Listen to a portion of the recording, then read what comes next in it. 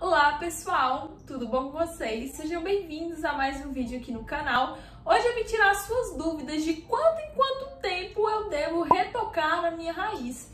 Vamos falar do aspecto estético e também do aspecto saúde dos cabelos. Se você não me conhece, está chegando agora, seja bem-vindo. Meu nome é Alissa Costa, eu sou cabeleireira e cosmetóloga. Vivi isso tanto na teoria quanto na prática, né? Eu tinjo meu cabelo desde que eu tenho 14 anos. Por muitos anos fui loira, vivi essa experiência de retoque de raiz com mechas e de tintura também. Já pintei meu cabelo de preto, de ruivo. Já se inscreve no canal e vem comigo. Vamos começar falando do retoque de raiz da tinta, a tintura. Pode ser tonalizante ou tintura com amônia, tá? É, vai seguir aí o mesmo parâmetro que é o crescimento da raiz. O grande ideal, nesse caso das tintas, é a gente avaliar o crescimento da nossa raiz. É, em 30 dias, quanto o seu cabelo cresceu? Se você fizer somente retoque de raiz, né, passar tinta somente nessa região que cresceu, seu cabelo não vai danificar comprimento e pontas. Se toda vez que você retocar a raiz, você descer a tinta por todo o seu cabelo, você vai estar reaplicando ali amônia em todo o seu cabelo, então não é legal que se faça isso. Eu, por exemplo, retoco somente a minha raiz com a tinta e o comprimento e pontas eu uso é, para reavivar, reacender a cor do meu ruivo. As máscaras pigmentantes da Camaleão Color. Já tem resenha aqui no canal, já testei várias cores e é isso que eu faço para manter. Agora vamos lá, de quanto quanto tempo eu retoco? Eu não marco no calendário que dia eu vou retocar eu vou analisando é, conforme os eventos que eu tenho, os trabalhos que eu tenho para fazer, né? Eu trabalho com meu cabelo também, quando eu preciso estar com o cabelo bonitinho, arrumadinho, pintadinho, e o quanto a raiz dele cresceu. Prazo geralmente é uns 40 dias, tá? É cerca de 40 dias que eu retoco a minha raiz. Às vezes pode ser menos, às vezes pode ser mais. Se você pinta de ruivo ou de uma cor loira, qualquer cor mais clara que o seu cabelo natural, o indicado é não deixar ultrapassar um dedinho de raiz. Por quê?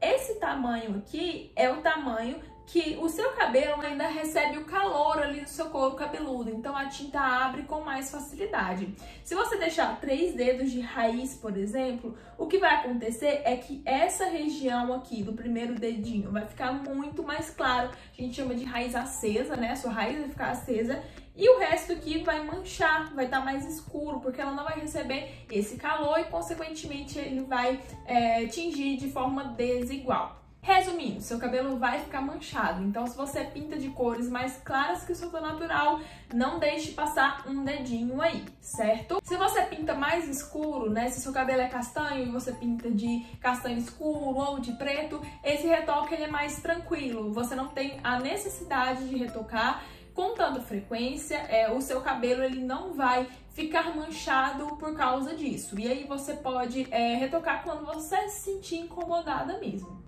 Larissa, mas eu tenho muito cabelo branco, a cada 15 dias meu cabelo já tá horrível, o que que eu faço? Você pode pintar assim. É, o cabelo da minha mãe, por exemplo, é 100% branco. E em 15 dias a raiz dela já dá pra ver, fica uma tiara branca aqui na frente, o cabelo dela cresce muito rápido. E por ser 100% branco, essa diferença é muito maior. Então, se ela quisesse, por exemplo, de 15 em 15 dias, pegar o pincel, né, e melar aqui a raizinha sem aplicar aqui por toda a raiz, daria pra fazer também.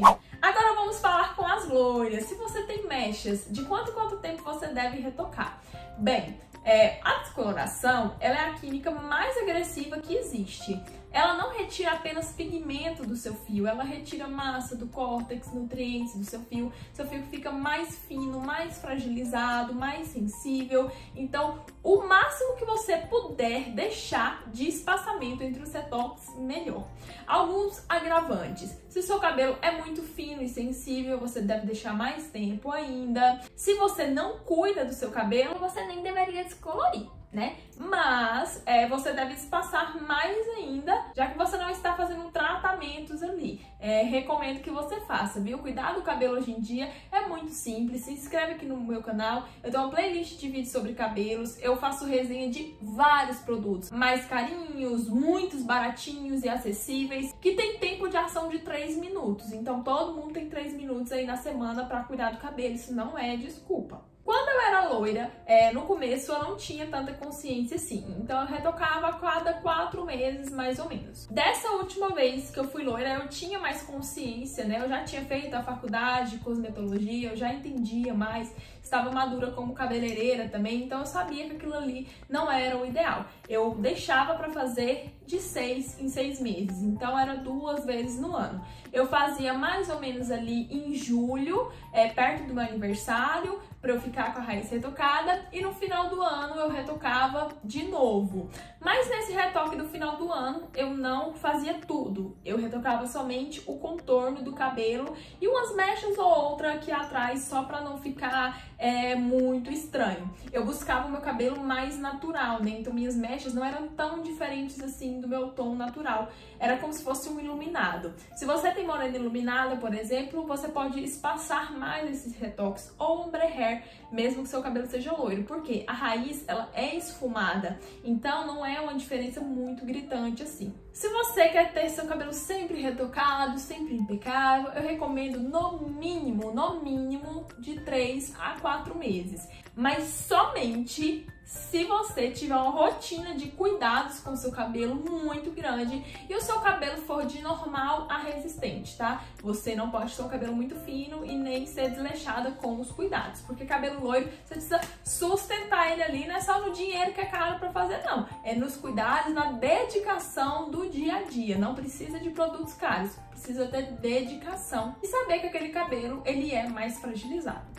Você tem essa opção é, de retocar apenas o contorno do cabelo. Eu já fiz isso algumas vezes. Você vai fazer o contorno e você vai se olhar no espelho, vai estar tá ali retocada. Então você não vai sentir essa necessidade muito grande de fazer esse retoque. De seis, seis meses, seu cabelo vai crescer o quê? Isso aqui? Esse tamanho mais ou menos. Então, se sua raiz for esfumada, dá tranquilo para retocar duas vezes no ano. Se você fizer mechas marcadas, aí fica mais complicado, né? Com um mês ali já dá para ver que sua raiz está grande. Aí entra aquela outra dica que eu dei anteriormente. Não retoque tudo, retoque apenas a raiz, aquela sua parte é, do comprimento e pontas, principalmente aqui do meio para baixo, ela já tá loira, ela já foi descolorida várias vezes. Você não precisa ir retocar toda vez, faça somente o retoque daquela parte que for crescida. Se você conseguir e não se importar de retocar apenas uma vez no ano, melhor ainda o seu cabelo agradece. Se esse vídeo foi útil para você, dá um gostei aqui embaixo para mim, para me ajudar na divulgação. Eu espero que vocês tenham gostado. Um beijo e até a próxima!